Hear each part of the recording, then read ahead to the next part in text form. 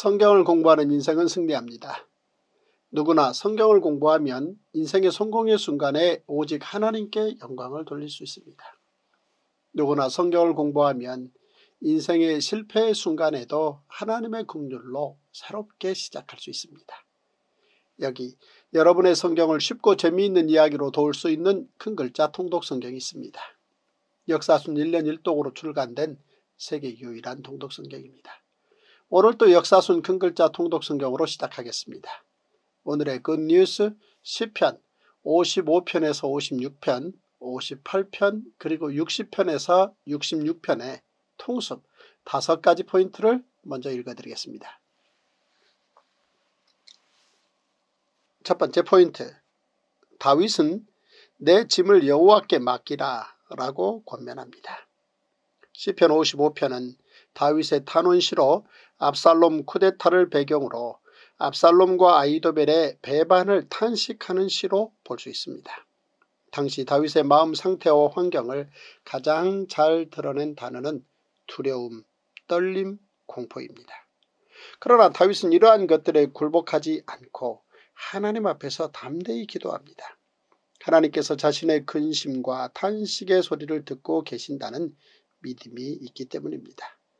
다윗은 놀라운 상상력으로 겹겹이 쌓인 현실을 뚫고 우리에게 오시는 하나님의 모습을 친근하게 그리고 피부에 와닿게 그려주고 있습니다. 시편의 탄식들이 끝에 가서는 언제나 확신에 찬 감사와 찬양으로 변하는 것처럼 다윗도 예외 없이 이 시편에서 자신의 부르짖음과 탄식을 하나님께서 들으신다고 힘주어 말합니다.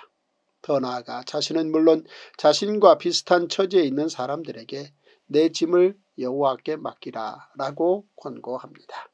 하나님께서는 의인의 요동함을 허락지 않으십니다. 다시 말해 하나님께서는 하나님과 바른 관계에 있으며 하나님을 신뢰하고 하나님의 자비와 극률에 매달리는 의인의 기도에 귀 기울이시고 허리 굽혀 응답하실 만큼 가까이 계신 분입니다. 두 번째 포인트 다윗은 나의 눈물을 주의 병에 담으소서라고 기도합니다. 시편 56편은 다윗의 탄원시로 다윗이 가드에서 블레셋 사람들에게 잡혔을 때의 지은 시입니다. 다윗은 종일 생사의 경계를 넘나들며 사울 왕에게 쫓겨다니는 신세였으나 생명을 잃지 않았음을 감사하며 노래하고 있습니다. 그리고 자신을 알아본 블레셋 가드왕 아기스의 신하들 앞에서 생명을 유지할 수 있었던 것도 전적으로 하나님의 도우심이었음을 고백합니다.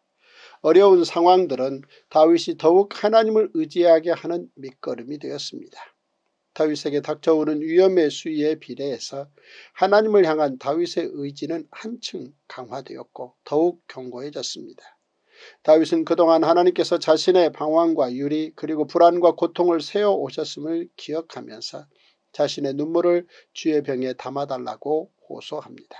그리고 죄 책에 기록하여 지금의 고통을 기억해 주시길 간구합니다. 그러면서 하나님께로 한 걸음 또 한 걸음 더 가까이 걸어갑니다. 하나님께서 자기 편이심을 알기에 두려웠던 다윗의 마음이 하나님을 의지함으로써 감사로 채워지는 것입니다. 이렇게 해서 죄 병에는 다윗의 고난의 눈물뿐만 아니라 하나님의 도우심에 따른 감사의 눈물도 함께 담기게 됩니다. 세 번째 포인트 다윗은 하나님 앞에 마음을 토하라 라고 권면합니다. 다윗의 탄원 시인 시편 62편에서 다윗은 믿음을 지키는 것은 어떠한 형편에서도 하나님을 바라보는 것이라고 선언합니다. 그리고 다윗은 권능과 인자가 하나님께 속하여 있음을 알고 견고한 반석이신 하나님에 대한 전적인 신뢰를 고백합니다. 나의 영혼이 잠잠히 하나님만 바라며 나의 구원이 그에게서 나오는도다.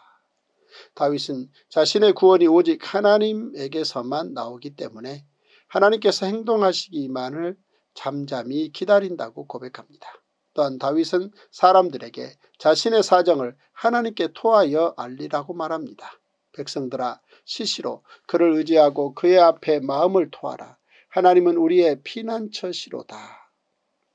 여기에서 토하라는 히브리어로 샤파크입니다. 이는 쏟다의 뜻으로 물병에 물을 쏟아 그 병을 깨끗이 비우듯 마음속의 모든 것을 하나님께 쏟아놓고 하나님만을 의지하는 것입니다. 자신의 마음을 하나님께 아릴 수 있는 사람, 언제나 하나님을 의지하며 새로운 힘을 얻을 수 있는 사람이 다윗입니다. 하나님을 가까이 하며 하나님의 교훈을 받는 것, 이것이 다윗이 누리던 행복입니다. 하나님과 친근한 관계를 맺으며 안전하고 승리하는 인생을 산 다윗, 그가 그 비결을 교훈합니다. 네 번째 포인트, 다윗은 주의 인자하심이 생명보다 낫다라고 찬양합니다. 시편 63편은 다윗의 탄원시로 다윗이 압살롬의 쿠데타로 인해 도망하던 중 유다 광야에 있을 때 지은 시입니다. 다윗은 자신의 영혼이 하나님을 갈망하며 자신의 육체가 주를 악모한다고 말합니다. 생사의 갈림길에서 생명을 향한 간절한 열망이 다윗으로 하여금 하나님께로 가까이 나아가게 만들고 있습니다. 전쟁, 도망, 거친 들, 눈물 등이 다윗의 이미지입니다. 젊은 날 다윗은 평안하게 머리둘 곳이 없었습니다. 들판에서 밤하늘의 별을 보며 하나님을 만났고 숲을 우거진 초원의 도피길에서 은혜를 경험했습니다. 다시 가게 된 유다 광야에서 다윗은 자신의 인생길에 동행하시는 분 하나님께 변함없이 기도합니다. 때로는 광야와 같은 길을 걸을 때가 있습니다. 그러나 그 위에서도 우리는 다윗과 같이 노래할 수 있습니다. 하나님께서 우리와 함께 동행해 주시기 때문입니다. 이어지는 시편 64편 또한 다윗의 탄원시입니다. 다윗은 화살 같은 독설에도 주저하지 않고 더욱 강한 믿음으로 하나님을 의뢰합니다. 다윗은 행악자의 독한 말에 맞서지 않고 하나님을 찾는 지혜의 사람입니다. 악을 행하는 사람들이 다윗의 주변을 둘러싸고 있습니다. 그들의 목적은 악할 뿐입니다. 그러나 하나님께서는 그들의 모든 행위를 지켜보시고 판단하십니다. 결국 그들의 악한 계획이 이루어지지 않도록 하십니다. 다섯 번째 포인트.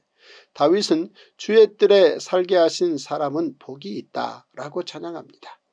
다윗의 예배시 시편 65편에서 다윗은 하나님께서 자신의 기도를 들으시고 자신의 버거운 죄짐을 해결해 주시는 분임을 믿음으로 고백합니다. 다윗은 이러한 믿음으로 산과 바다를 지으시고 주관하시는 하나님의 능력을 노래합니다. 하나님의 능력을 온전히 믿고 의지하는 자는 하나님의 도우심을 받게 됩니다. 모든 성경은 유익합니다. 세상 예화나 성경 요절주의, 곤별주의는 끝내 성경을 어렵게 합니다. 모든 성경을 모든 가정에서 다섯 살부터 통성경 스토리로 듣게 되면 성경은 곧 쉽고 재미있는 책이 될 것입니다.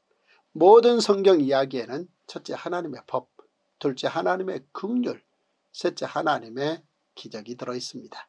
그러므로 성경 한 권이면 충분합니다. Wow! 제147일 시편 55편 다윗의 마스길 인도자를 따라 현악에 맞춘 노래. 하나님이여 내 기도에 귀를 기울이시고 내가 간구할 때에 숨지 마소서. 내게 굽히사 응답하소서. 내가 근심으로 편하지 못하여 탄식하오지 이는 원수의 소리와 악인의 압제 때문이라. 그들이 죄악을 내게 더하며 노하여 나를 핍박하나이다. 내 마음이 내 속에서 심히 아파하며 사망의 위험이 내게 이르렀도다. 두려움과 떨림이 내게 이르고 공포가 나를 덮었도다 나는 말하기를 만일 내게 비둘기같이 날개가 있다면 날아가서 편히 쉬리로다. 내가 멀리 날아가서 광야에 머무르리로다 셀라. 내가 나의 피난처로 속히 가서 폭풍과 광풍을 피하리라 하였도다. 내가 성내에서 강포와 분쟁을 보았사오니 주여 그들을 멸하소서. 그들의 혀를 잘라버리소서. 그들이 죄하로 성벽 위에 두루 다니니 성 중에는 죄악과 재난이 있으며 악독이 그 중에 있고 압박과 속임수가 그 거리를 떠나지 아니하도다. 나를 책망하는 자는 원수가 아니라 원수일진데 내가 참았으리라.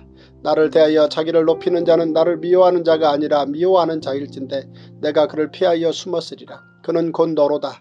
나의 동료 나의 친구여 나의 가까운 친우로다. 우리가 같이 재미있게 의논하며 무리와 함께하여 하나님의 집 안에서 다녔도다. 사망이 갑자기 그들에게 임하여 산채로 수월에 내려갈지어다.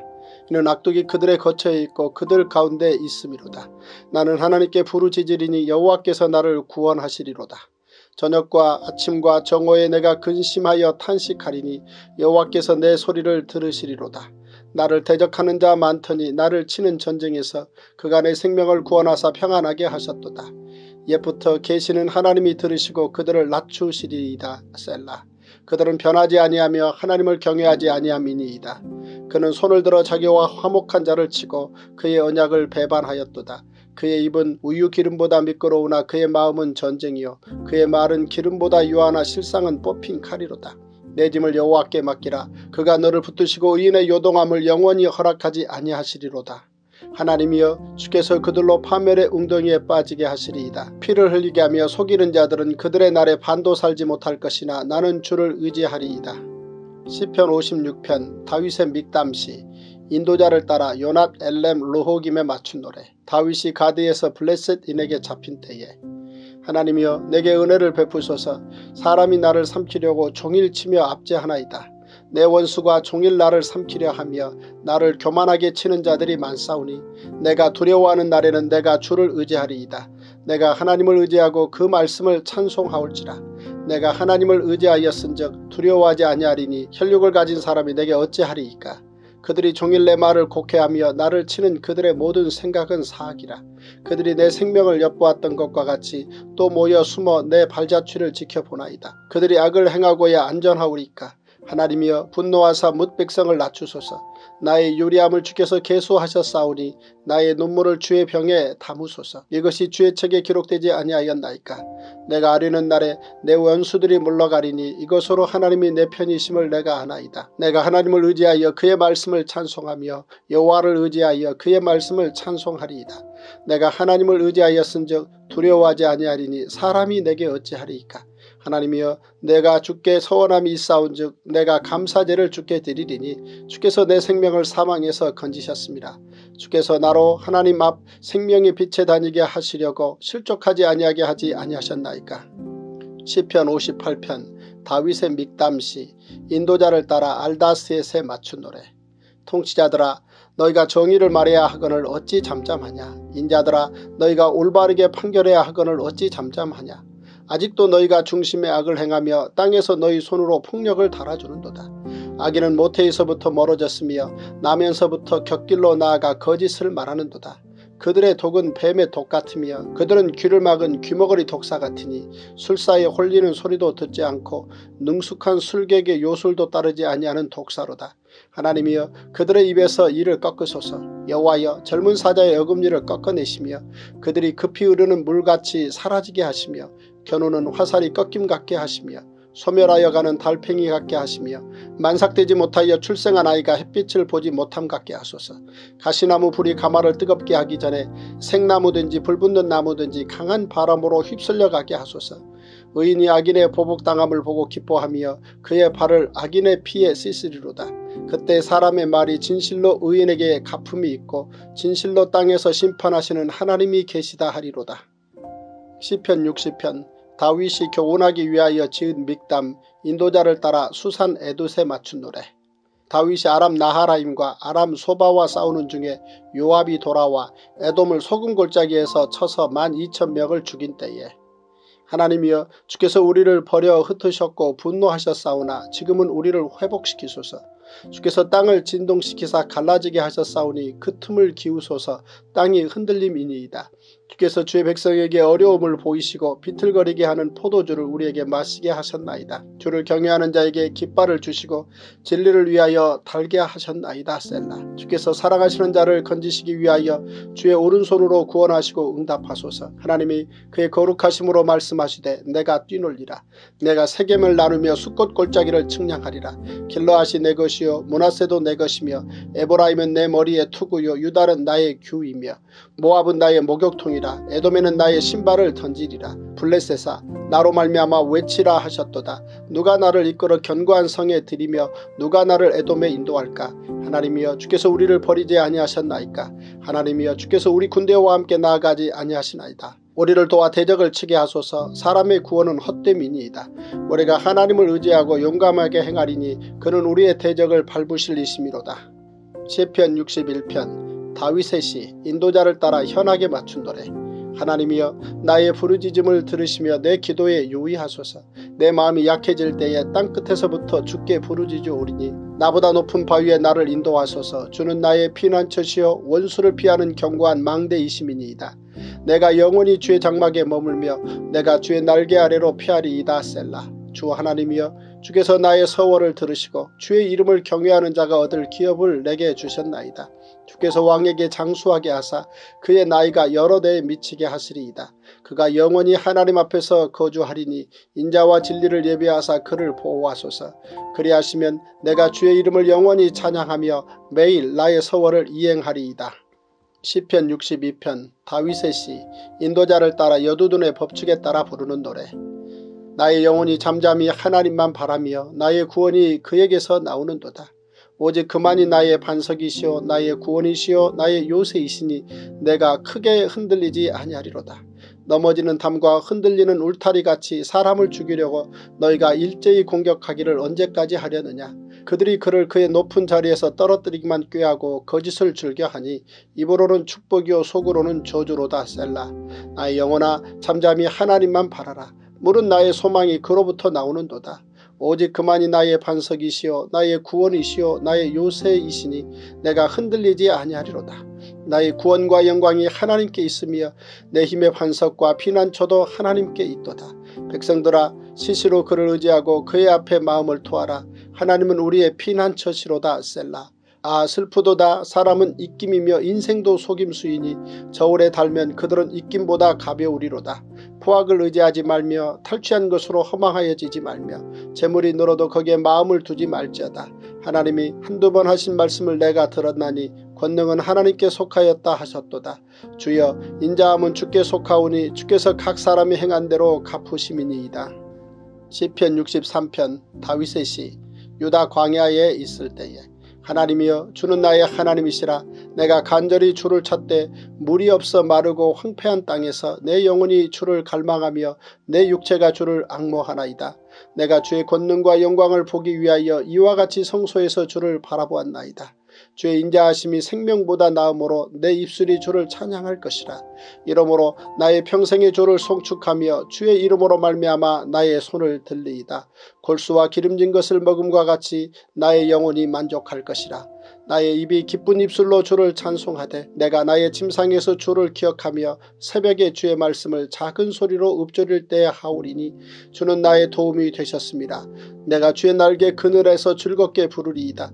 나의 영혼이 주를 가까이 따르니 주의 오른손이 나를 붙드시거니와 나의 영혼을 찾아 멸하려 하는 그들은 땅 깊은 곳에 들어가며 칼의 세력에 넘어져 승냥이의 먹이가 되리이다. 왕은 하나님을 즐거워하리니 주께 맹세한 자마다 자랑할 것이나 거짓말하는 자의 입은 막히리로다. 시편 64편 다윗의 시 인도자를 따라 부르는 노래 하나님이여 내가 근심하는 소리를 들으시고 원수의 두려움에서 나의 생명을 보존하소서. 주는 악을 꾀하는 자들의 음모에서 나를 숨겨주시고 악을 행하는 자들의 소동에서 나를 감추어 주소서. 그들이 칼같이 자기 혀를 연마하며 화살같이 독한 말로 겨누고 숨은 곳에서 온전한 자를 쏘며 갑자기 쏘고 두려워하지 아니하는도다. 그들은 악한 목적으로 서로 격려하며 남몰래 올무놓기를 함께 의논하고 하는 말이 누가 우리를 보리오 하며 그들은 죄악을 꾸 미며 이르기를 우리가 묘책을 찾았다 하나니 각 사람의 속뜻과 마음이 깊도다. 그러나 하나님이 그들을 쏘시리니 그들이 갑자기 화살에 상하리로다. 이러므로 그들이 엎드러지리니 그들의 혀가 그들을 해함이라. 그들을 보는 자가 다 머리를 흔들리로다. 모든 사람이 두려워하여 하나님의 일을 선포하며 그의 행하심을 깊이 생각하리로다. 의인은 여호와로 말미암아 즐거워하며 그에게 피하리니 마음이 정직한 자는 다 자랑하리로다.